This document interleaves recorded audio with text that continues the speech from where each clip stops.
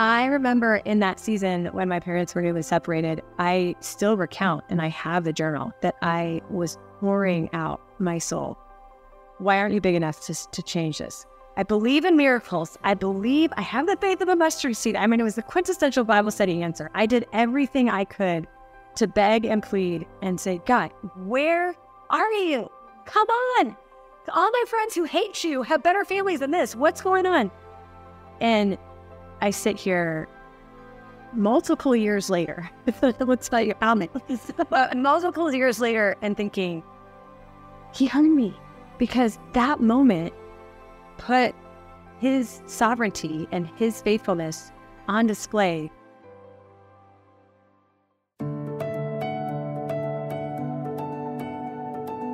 You're listening to God Hears Her, a podcast for women where we explore the stunning truth that God hears you, He sees you, and He loves you because you are His. Find out how these realities free you today on God Hears Her. Welcome to God Hears Her. I'm Elisa Morgan. And I'm Eryn Adkins. I had the privilege of talking with Lauren Reitsema live and in person while we were at the MomCon conference in Chicago.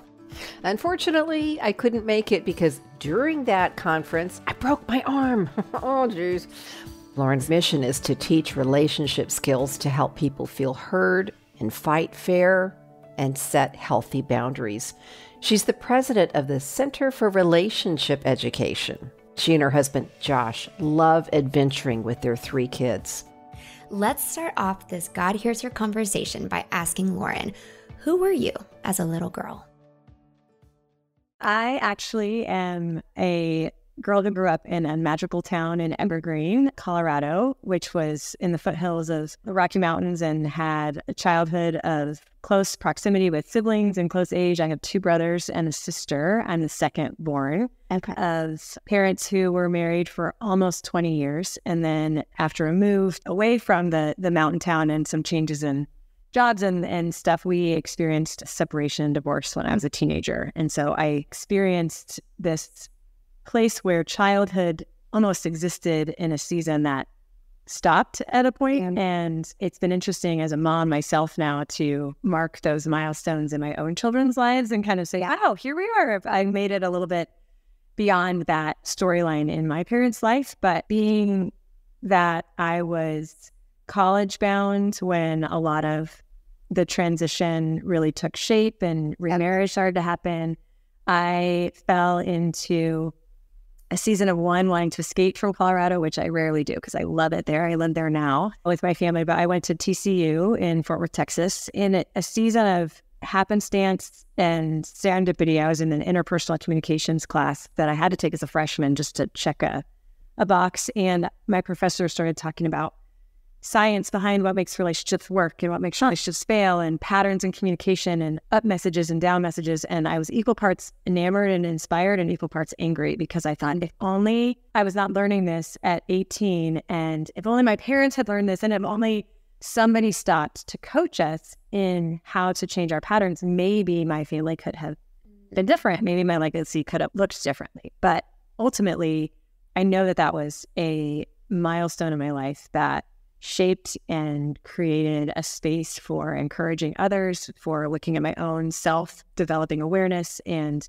a passion for doing relationship and connection with intention, with purpose, with tools, with skills. And it's led me on a journey to build my own family. My husband and I have married 16 years now. We just celebrated an anniversary. We have three kids, ranging from toddler to teenager. You said you were 16 when mm-hmm. you heard the news that your parents were divorcing. Yeah. So the separation, my, in my circumstance, there was a, a formal separation period with a uh-huh. lot of desire and intention to try and work it out. So I was at eighth grade when my dad moved out of the house, and I we watched progressive counseling and and had lots of ebbs and flows of hope and wonder and curiosity. But ultimately, I remember the day I felt like I could have told them just based on the facial expressions and some of the dead ends that maybe they felt that it was too far gone and that they'd chosen not to reconcile. So trying to navigate that was really challenging in my identity at the time because a lot of my friends and people in my community were from a faith background and Yeah. I happened to have been raised in in the church and so I felt a lot of hypocrisy and worry and wonder and almost jealousy that family friends and these people that are mentoring me that aren't necessarily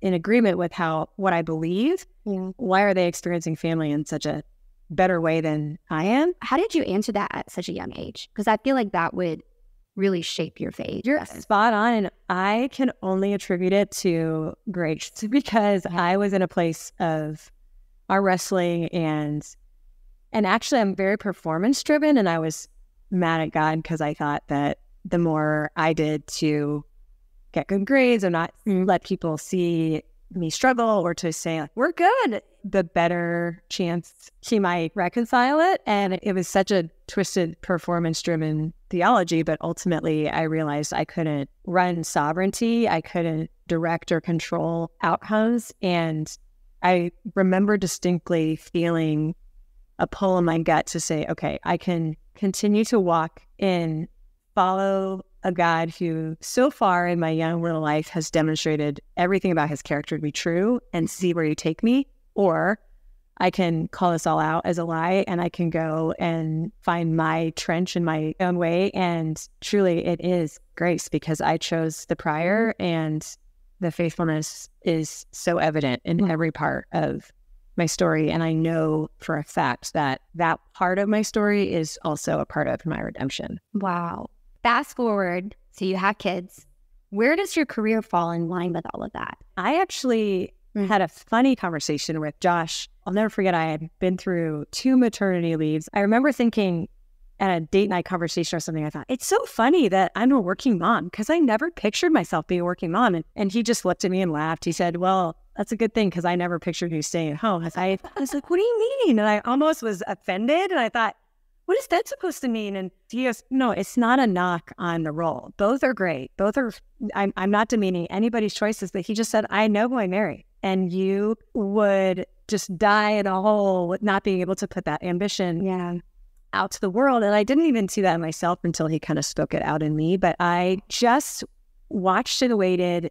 Uh, I had three children, all with full time vocational employment, with busy travel and all the things I get to do. But I just got to see and continue get to get to see because it's we're we're the, th- the throes of it with not alert teenager and I find that when you know you're hardwired and passionate and equipped to do something that you enjoy and that is for the good of humanity, provision finds a way to allow you to be a mom and a great mom at it. And so I just feel like I've had miraculous sitters come out of the woodwork who are studying in their masters at the University of Denver and just need a semester that happens to have classes on the days that I'm in my office. And I've had grandparents rally and, and help with childcare. I've had just different flexible policies where my my own staff are, are navigating growing their family and how do I lead in that while still expecting high capacity performance. And I feel like I've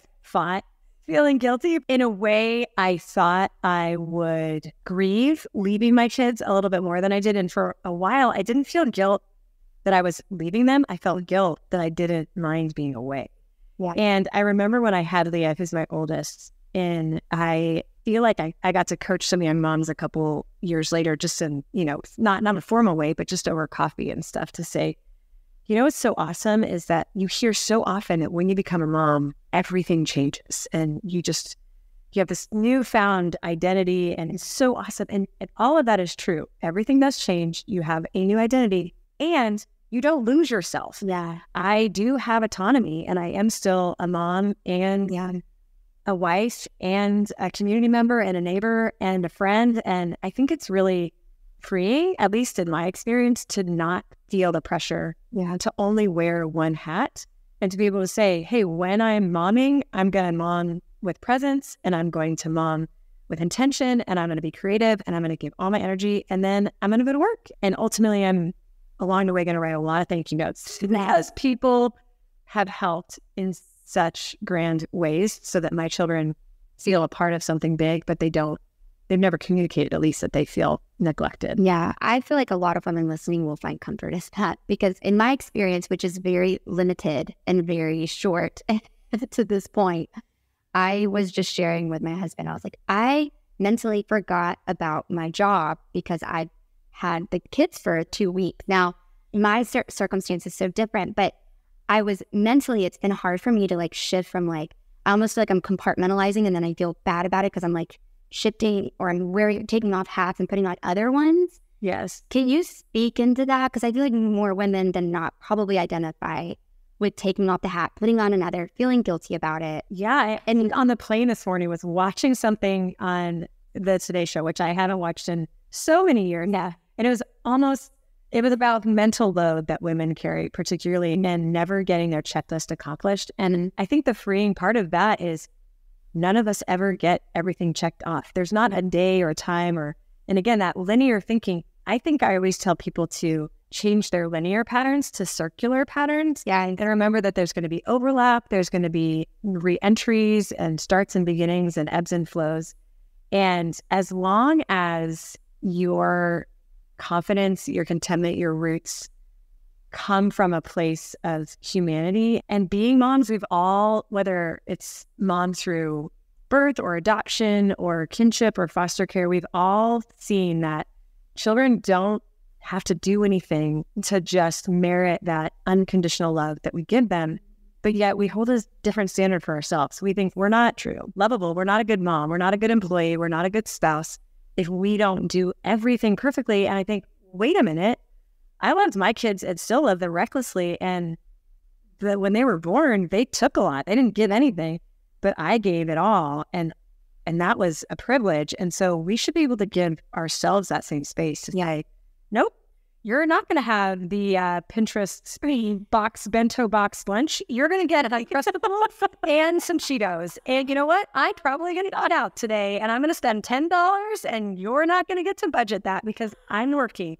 And I can't tell you how many times I do lose my cool. My mental load is just too much, and I feel like I'm not doing anything 100% well. And I just, I've learned to communicate that. I, yeah. I walk in and say, Mom's got her grumpy face on. I am overwhelmed. I can't be touched. Yeah. I need you all to just give me a minute and, and then, you know, walk the dog or grab some food and ultimately forgive yourself because we're not meant to do everything well all the time. Yeah, that's right. Being a child of divorce, how has that shaped you as a mom now? Thinking about it, just in the spontaneity and of my answer, I do think it's the depth of my heart in that the only mothering gift I really want to give my kids is a legacy where they watch their parents love each other well. And so putting Josh first is actually not a detriment to my parenting. It's what makes my parenting better. I've seen the mental struggle of, but I'm leaving my baby to go out to dinner and we could eat dinner here. What if the baby needs me? And ultimately, even that baby is going to be fine in the care of a sitter for a couple hours in the long term when your relationship is needing that yeah. adult energy so that you can then model a legacy of unity and partnership. And the hospital setting that you know made me a mom and so if i remember josh and i all of the genders of our children were surprised. So we had different names picked out. We didn't we changed them all up the day of and and so it was a privilege for Josh. She was the one who always got to announce whether it was a boy or girl. And I remember when Leah was born, the first thing he said was, It's a girl. And I just freaked out. I was so excited. And then he said, Don't worry, we can have another one that looks like you because my daughter is a spitting image of her father. And you could tell right away, uh, she's the most beautiful version of her father I've ever seen. Uh, but her, and then I remember him looking at me, our eyes met, in this mysterious way and just say, "Hey, our attention still needs to be on each other first. And he he said to me, "You're still my favorite," and he goes, "But she's a close second. And that mantra set our parenting trajectory, and that's how we always do it. Is you know we're sometimes our kids' attention does suffer because we both have work priorities, but then we use those passions and gifts to energize ourselves and to provide for opportunities and experiences that we can go travel or do something yeah. And so I think our kids see the full circle in it. And we just have, out of necessity, not out of perfection, but out of necessity, they know that the world doesn't res- revolve around them. Yeah. I love that. I love that you spoke specifically to that because that's something that we've been wrestling with and not Matt and I showing that we love each other in front of the kids. That's not something that we've been wrestling with. But there is this temptation, especially within a blended family, yeah, to show priority to the kids to the point of which at the expense of your relationship, which feels like it's a healthy sacrifice, but I actually think it can be a detriment to your relationship more than it is a healthy sacrifice. Can you speak into that? The familial bonds are a little different in that linkage. And so there is some precedence and some tenderness in which you have to approach yeah. the reprioritization of partner over children, especially if there's been a gap there. However, segmenting your time in a way, maybe not publicly in a blended family at first, but that always seeks energy, time, and and your best for your person. I remember a time when I was just being mean to Josh because I gave all my gratitude, all my hospitality, all my generosity to everyone else. And then I just, he got my leftovers. And I realized that was completely unfair. And we needed to come up with a solution so that I was actually refreshed and pouring out of abundance and not just feeling depleted all the time. But that required some tactics and some strategies. It didn't, yeah. it wasn't just a mindset. I think the ways that we approach dreams or the ways that we approach desires are often neglecting a strategy and tools. Yeah. What does it look like to, even we say we need to connect. Well, what does that mean? Right. What does connection look like for you? So you ask that of your partner, you ask that of your kids, you ask that of your neighbors. Hey, we need to connect. Yeah, we do. And then you just never do anything. Yeah what would make you feel connected to me right now mm. in this moment? Do you want to do a puzzle? Do you want to go on a run? Do you want to go grocery shopping? Do you want to sit and stare at each other? What is it that actually fuels that connection? And then make a plan to do it. Yeah. And behave that way. And then eventually you start to pattern your life, and patterns predict outcomes, which goes to boundaries. Yes. And I know you talk on that. Uh, boundaries. Yes.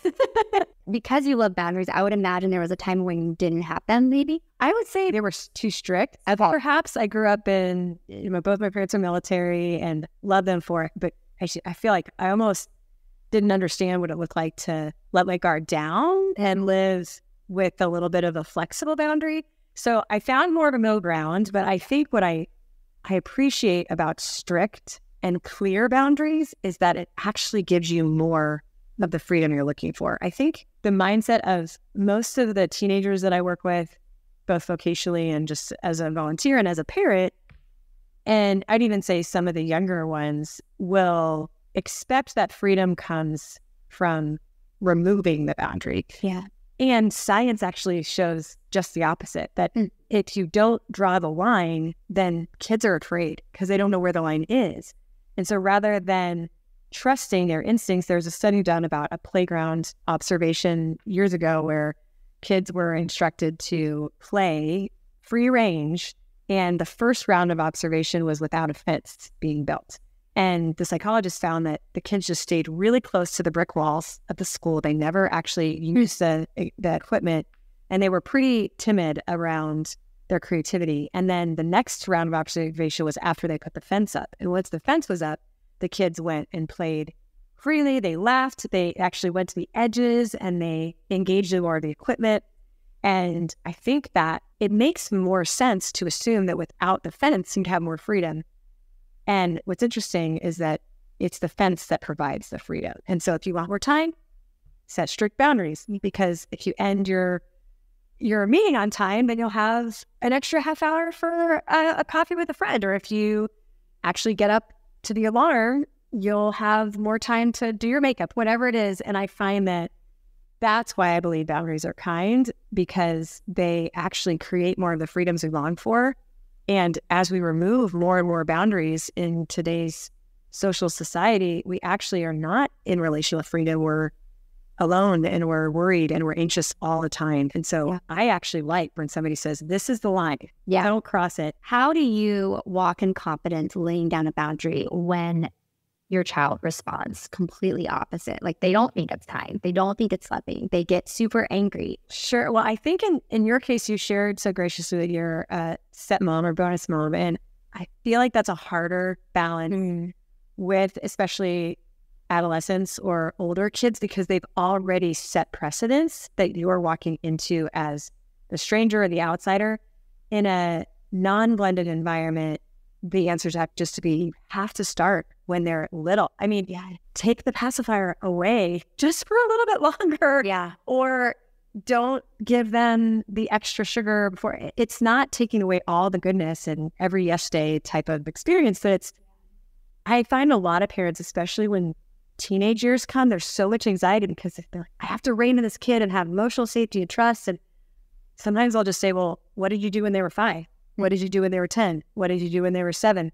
Because you can't change behaviors that were never modeled as kids. And so you can but it's a it's a harder coping mechanism because the expectation gap is much wider. Yeah. and so i think recognizing where maybe boundaries are being broken or where you have had less experience in setting them starting small and then practicing communicating over and over again that this isn't just some surprise change in my demeanor but i actually believe that what we need more of is freedom. In order to do that, it sounds like we need to tighten the reins a little bit more. It's it's kind of like benefits at work, right? Yeah. If you are running a company, you don't give benefits to anybody until they're at least six weeks into the job and have proven their loyalty. Yeah. But eventually, as their capacity grows and they have shown that you're they're helping get into your outcomes, you kind of loosen the reins a little bit. And I think what happens in parenting is we actually tighten the reins as they get older instead of starting with tight tight reins when they're young and giving them more freedom as they've proven that they have the capacity to get there. Yeah. We end up thinking, okay, well now they're going to go crazy. They're going to crash the car. They're going to, you know, do something stupid with their their loved ones and and their and so yeah, that's when we lay down a lot. But you're thinking, wait, if I couldn't trust you to walk to the mailbox on your bike when you were three, how do I expect you to drive to the mountains in the snow?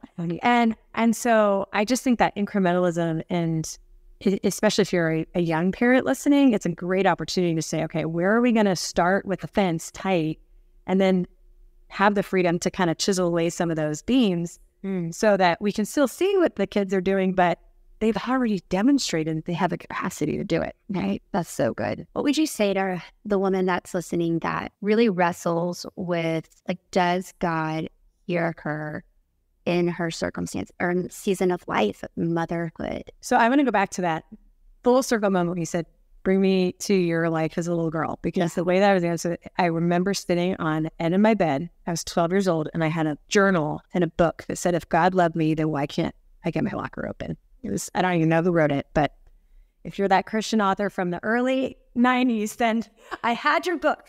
And I remember in that season when my parents were newly separated, I still recount and I have the journal that I was pouring out my soul. Why aren't you big enough to, to change this? God, if you say you, I believe, I believe in miracles. I believe I have the faith of a mustard seed. I mean, it was the quintessential Bible study answer. I did everything I could to beg and plead and say, God, where are you? Come on. All my friends who hate you have better families than this. What's going on? And I sit here multiple years later. Let's tell you.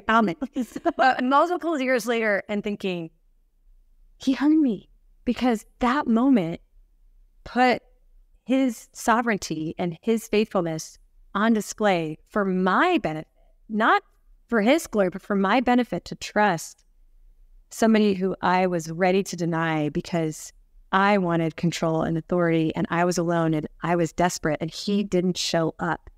And I think sometimes it's the denial of what you want it actually gives you the trajectory. So I think the idea of longevity and the idea of sovereignty and kindness that if you're truly a believer that understands that God is a God of connectivity and relationship, He does connect with every one of your pain points and He weaves it into a beautiful story that what I always try to remember is it's not the cross, right? Every alone moment that you feel could never compare. And I'm not minimizing it at all, but it helps me to remember you do see me because you died.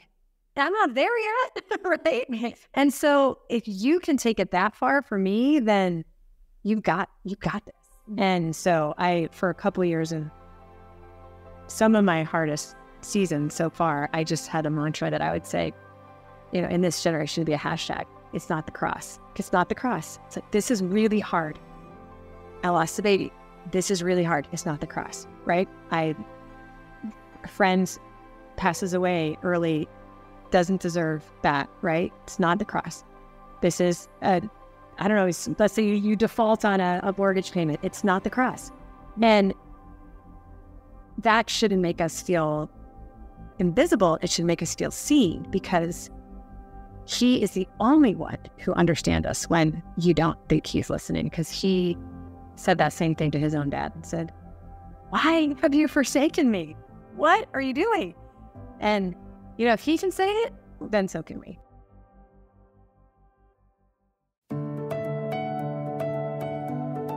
Wonderful conversation. Jesus is the only one who fully understands our pain and suffering. We are not alone. I really enjoyed this conversation. Well, before we go, be sure to check out our website to find a link for Lauren's book, Relationship Essentials.